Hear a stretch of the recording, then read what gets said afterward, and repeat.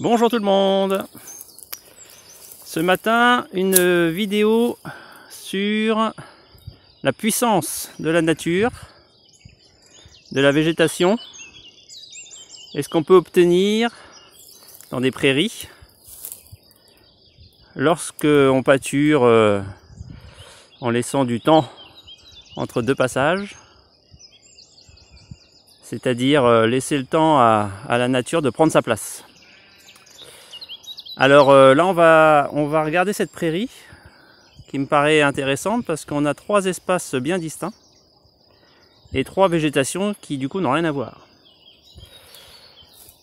Si j'avais euh, entretenu cette prairie euh, comme on fait de manière un peu conventionnelle, traditionnelle, c'est-à-dire broyer tout ce qui ressemble pas à ce qui se mange pour nos moutons, j'aurais quelque chose de plus uniforme avec probablement euh, des résultats en termes d'herbe euh, très moyens à certains endroits, voire euh, quasiment nuls, malgré de, l'énergie mise en, en œuvre en termes peut-être de semences, en termes de broyage, pour essayer d'imposer de l'herbe là où elle ne pousse pas naturellement. Donc on a ici le premier exemple. On est euh, bah, sur un rocher. Voilà, donc là il y a quasiment pas d'herbe. Un tout petit peu à certains endroits. Là on voit que sur le rocher, on a quand même réussi à avoir un peu d'herbe. Ça c'est du rocher. Donc là, c'est pas l'herbe qui gagne ici. C'est pas son milieu. Ce qui gagne ici, principalement, c'est la ronce. Voilà, donc là, la ronce, elle se sent très bien ici, milieu sec, lumineux, elle a relativement peu d'ombre ici. Donc un endroit où la ronce va jouer un rôle important, qui est celui de servir de pouponnière pour les arbres. Voilà, ici, là, derrière moi. Ici, c'est des arbres qui n'auraient pas poussé sur cet espace-là si n'avaient pas eu comme berceau un roncier. Parce que les chevreuils seraient venus euh, ben, les manger tout jeunes ou se frotter dessus, abîmer l'écorce, comme on voit sur celui-là. Mais quand ils se font attaquer lorsqu'ils ont déjà un certain âge, eh ben ils résistent parce qu'en fait la tête est montée. Voilà, ils peuvent plus se faire tailler la tête. Donc ils prennent de la hauteur. Et pour eux, c'est gagné. L'écorce devient plus dure, moins intéressante pour les, les animaux friands d'écorce. Donc voilà, d'un espace euh, qui a priori était plutôt sec, aride, avec du caillou, peu de sol, eh ben on arrive à obtenir une végétation euh, qui au final va être intéressante puisque euh, notamment les chèvres vont y trouver leur nourriture, hein, on a déjà vu ça sur les ronciers, mais bien sûr également sur les arbres, puisqu'ils vont pouvoir manger, euh, attraper toutes les feuilles qui sont à leur portée, à leur hauteur. Ils vont aussi s'amuser sur euh, les glantiers, quelque chose qui pique bien fort. Voilà, donc ils, ils- ils mangent les feuilles du bas, bien sûr. Et puis on a quand même un peu d'herbe qui se développe par-ci par-là. Donc les moutons viennent voir un peu ce qu'il y a à manger par-ci par-là, mais euh, voilà, c'est pas leur milieu, c'est le milieu des chèvres. Donc euh, elles sont contentes d'accéder à cette parcelle-là quand c'est le moment. Alors ensuite on descend, et là vous voyez qu'il y a quasiment plus de ronces. Ça s'arrête assez net. Quelques petites ébauches là de tentatives de la ronce euh, de venir euh, dans la prairie. Mais là, bah, elle a à peu près aucune chance. hein. parce que bah, les chefs sont là pour, euh, pour limiter euh, l'invasion. Donc comme je vous disais, voyez, hop, elle partait pour se planter plus loin et voyez qu'au bout elle a été mangée. Et elle va sécher au fur et à mesure que les feuilles seront mangées dans le temps. Donc euh, voilà, ici il y a très peu de possibilités pour cette ronce de conquérir la prairie. Donc on voit bien hein, la zone euh, nette Ici, on a, on a 2 mètres de ronce. Voilà, et puis pouf, voilà, le milieu est plus adapté à la ronce. La, la puissance de pouce n'est plus suffisante pour déborder les animaux. Et on verra ça un peu plus loin. C'est assez impressionnant. Donc les animaux peuvent gérer sans problème les petites ronces qui se développent là et le milieu reste ouvert. Alors bah si on poursuit, donc là voilà, c'est la, la, belle prairie qui est très bien adaptée, milieu très ouvert, ce que préfèrent les, les vaches, les moutons. Donc ça voilà, ici c'est leur domaine, ils s'y plaisent. Et on va, bah là on n'a plus de ronces. Là, il n'y a pas une ronce qui va pousser ici. C'est pas leur milieu. C'est un milieu qui est bien trop ouvert. Donc là, on a de la en herbe maximale. Et puis on arrive devant quelque chose qui moi me m'époustoufle à chaque fois que je le vois. On a ici une belle saulerée. Et euh, je dis que ça m'époustoufle parce que il y a 10 ans, il n'y avait pas un arbre ici. Et j'en ai pas planté euh, un seul morceau non plus. Hein. Pas un seul pied. Et pourtant, on a quelque chose d'assez euh, imposant. Et ben en fait, on peut faire le parallèle avec le roncier qui est là-bas. On a vu que le roncier, il se plaisait bien là-bas, il s'est implanté. La prairie, c'est son domaine ici, elle n'a pas de concurrence. Et puis là, là, c'est le domaine du saule. Alors bien sûr, on est dans la zone la plus basse, c'est plus humide. C'est une zone où, euh, quand je fauchais encore ici, euh, je récoltais un peu d'herbe, mais pas grand chose, parce que bah, de l'autre côté, il y a une haie avec euh, des chênes, donc ça faisait pas mal d'ombre, ça pompait pas mal l'eau. C'était trop humide l'hiver et ça séchait assez vite au printemps. Donc euh, bah, l'herbe végétée, quoi, ça donnait pas grand chose.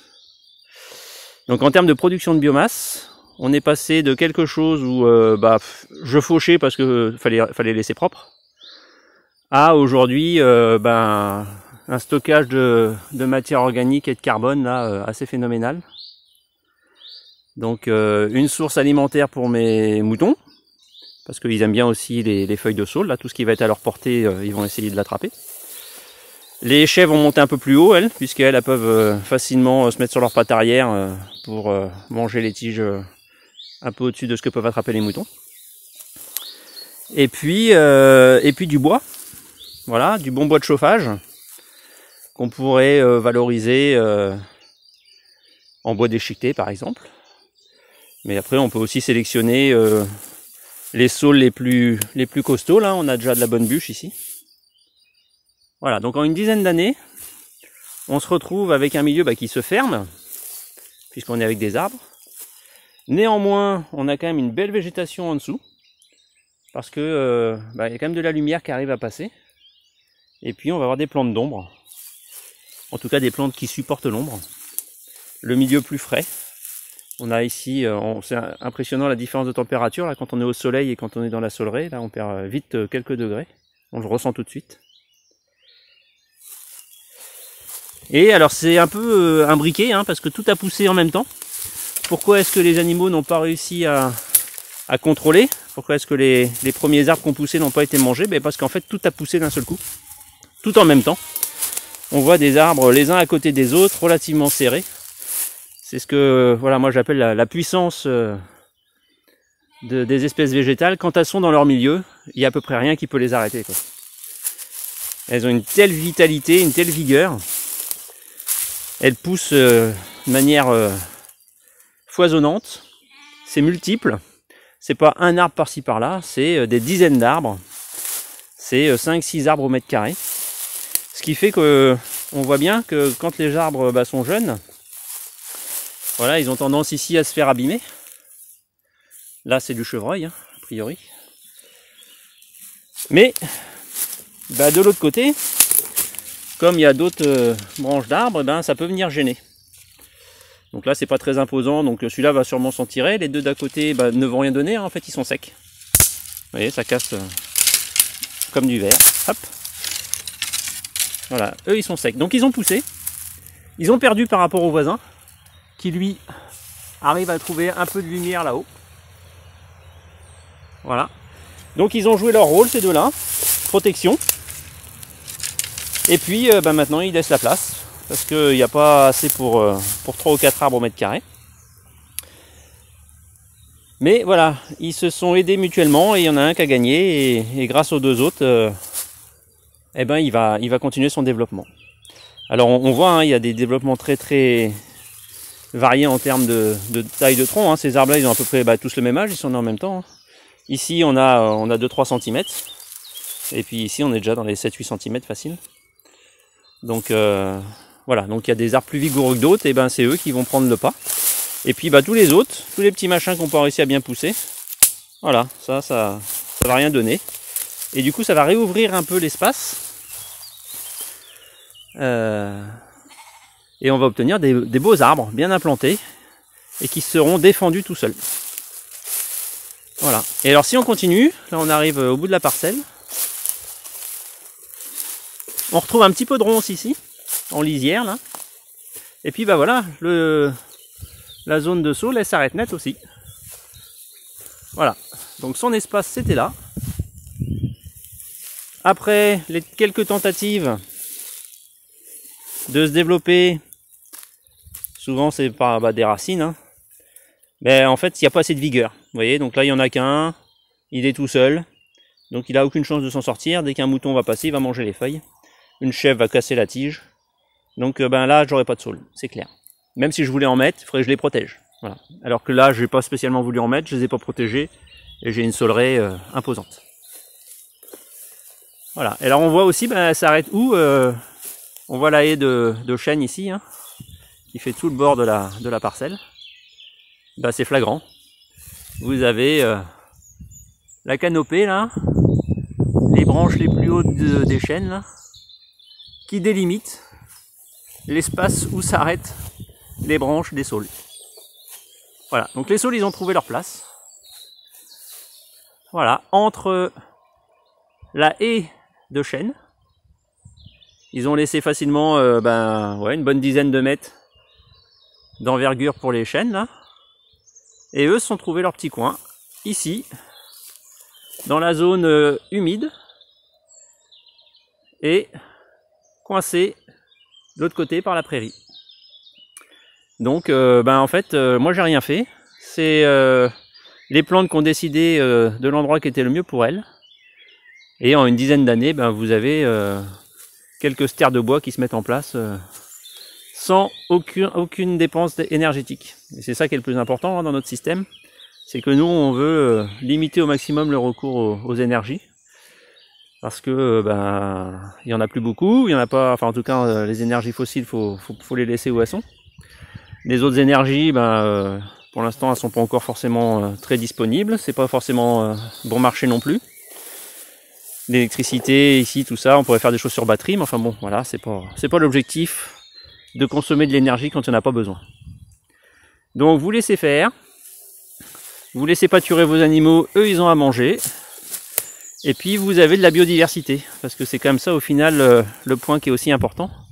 C'est qu'on est parti sur l'idée de laisser faire pour que la nature s'exprime. Et bien quand elle s'exprime, il faut la laisser faire. Il faut pas dire ah bah tiens le roncier qui est là, du coup j'en veux plus.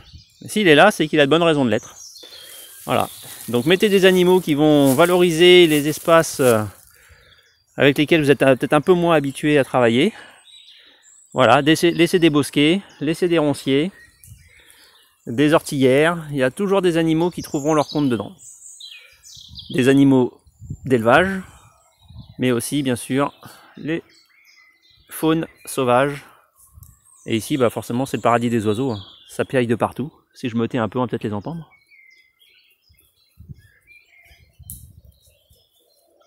On entend aussi les machines. Voilà, il y en a qui récoltent l'herbe avec des machines ça coûte pas mal de pétrole.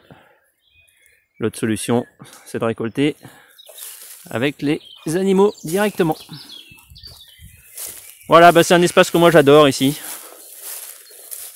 On est vraiment bien. On sent vraiment que là, euh, la nature, elle est à sa place. En tout cas, elle prend sa place. Et puis bah nous, on s'adapte. Voilà. Donc un petit roncier, bien sûr, on retrouve nos chèvres.